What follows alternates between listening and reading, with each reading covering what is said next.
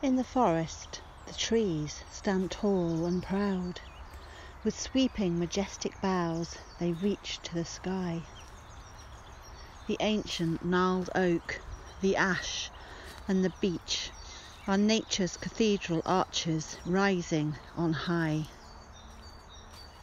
Beneath the waving branches, you find the magical hawthorn and the spiny blackthorn, birds flitting from bush to bush, building their sanctuary nests and raising their young.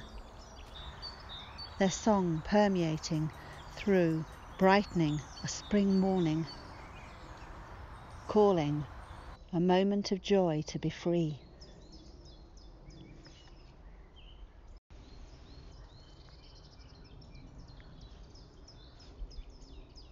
On the woodland floor, we find a carpet of sweet bluebells with their delicate enchanting scent and their nodding blue flowering stems. Creamy yellow primroses symbolize youth blooming in spring with a message of love, admiration, and honesty. The white sun facing anemones flower like a galaxy of stars falling from the sky. Blooming with the first spring winds, its delicate petals close at the approach of rain. Woodland is a refuge from busy modern life.